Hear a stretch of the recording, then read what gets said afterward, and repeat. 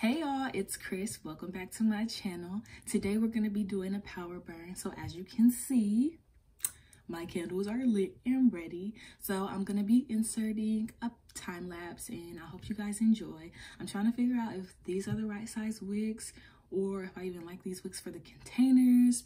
And as you can see, you know, this one is not doing that well. Um, my wicks are not even touching all of the sides of this jar. So definitely gonna have to wick up. This one just started, but so far it's a steady fire. So let's see how it turns out.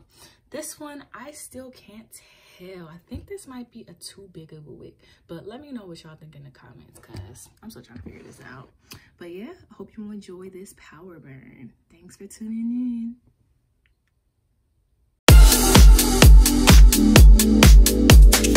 in.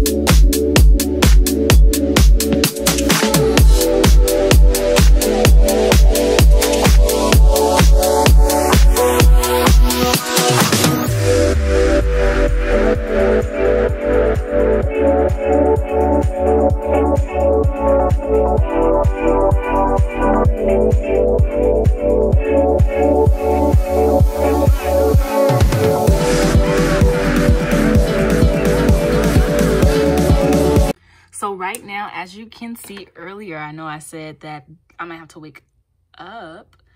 As you can see, as it's been burning, I think it's been burning about two and a half hours now. The wax is starting to melt towards the sides of the jar, but not quite all the way. So I don't know. I still might have to wick up, but so far it's looking good. Um, over here, I think I might have to wick down because this wick is mushrooming the size of the flame is actually really big compared to here as you see and this one just completely gave out. Um probably because as you can see right there i didn't trim it before i lit it again. And as you can see i have sinkholes. So this just probably wasn't a quality candle in general. But this wick blew out because the flame became too small. And as you can see the wick is curved. So probably because i didn't trim it but so far these are still burning smooth and we'll see how it turns out Check my chest, my breath right quick. He ain't never seen it in a dress like this. Uh, he ain't never even been impressed like this. Probably why I got him quiet on the set like this. Like it, love it, need it, bad. Take it, own it, steal it, fast. Boy, stop playing, grab my ass. Shy. Shut it, save it, keep it, while you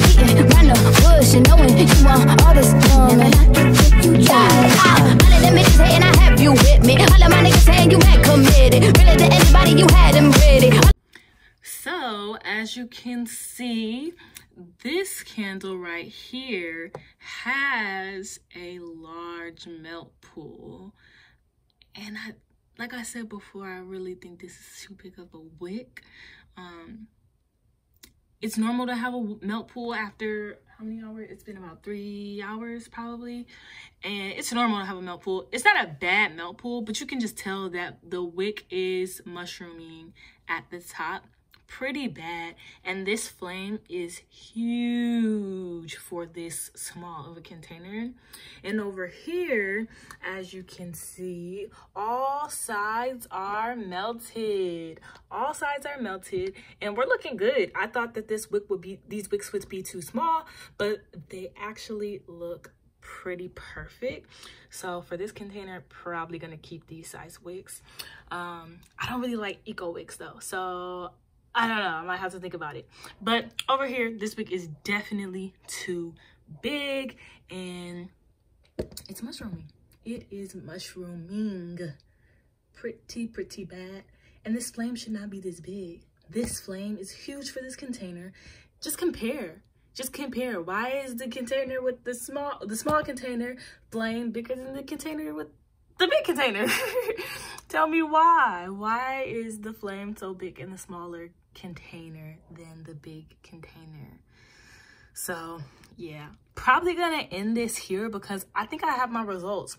This wick is not good for this container. So I'm gonna blow out the candles and thank you guys for watching. Comment below if you have any other suggestions on some other wicks that I might try. This is a Eco 8 and this is a CD14. I should have known this was bigger.